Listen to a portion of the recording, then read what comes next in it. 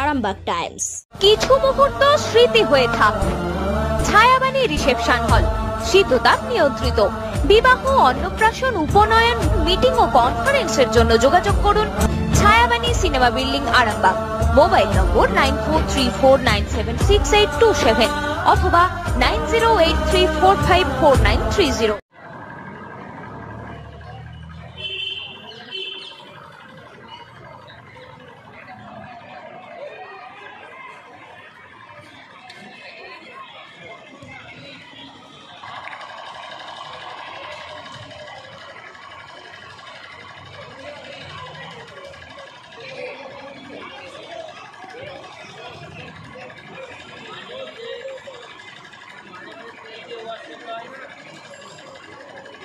চলে গেল?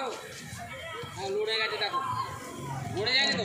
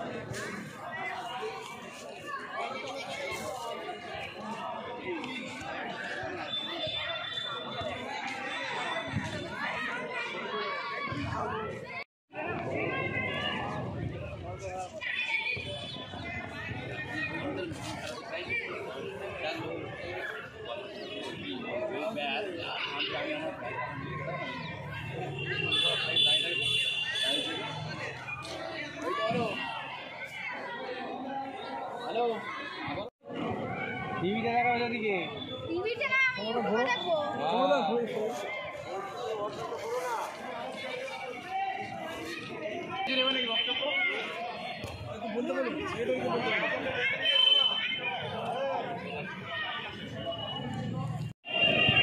বলছি, এবছর দাদা পুজোর প্রস্তুতি এখন কীরকম নিয়েছেন আপনারা?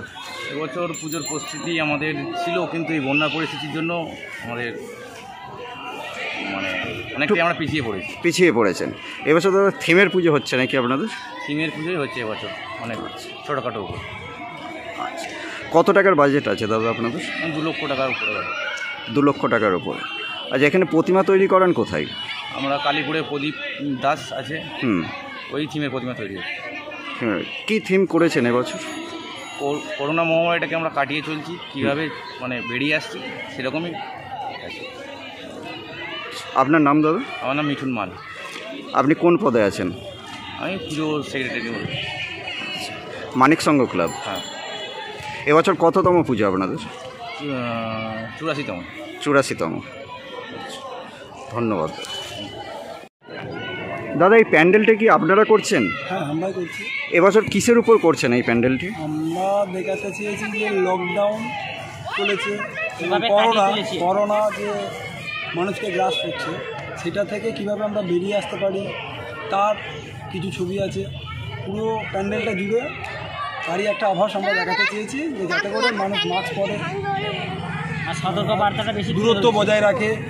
পুলিশ প্রশাসন এবং ডাক্তাররা এরা কেমন আমাদেরকে সাপোর্ট করে বা সাহায্য করেছে এই লকডাউন পিরিয়ডে তো সেই মিলেই আমরা এই প্যান্ডেলটাকে দেখানোর চেষ্টা করেছি আমরা প্যান্ডেলের মধ্যে পুরোটাই। কি নাম আপনার? আমার নাম সৌমেন সাঁতরা। কোথা থেকে এসেছেন আপনারা? আমার বাড়ি সন্তোষপুর। সন্তোষপুর। কোন থানা দাদা ওইটা? গোঘাট থানা। গোঘাট থানা সন্তোষপুর। কি না আপনার কি নাম সমর সাঁতরা। বাজুয়া থেকে এসে গোঘাট থানার মধ্যেই পড়ছে। এক কাছে আছে। ধন্যবাদ।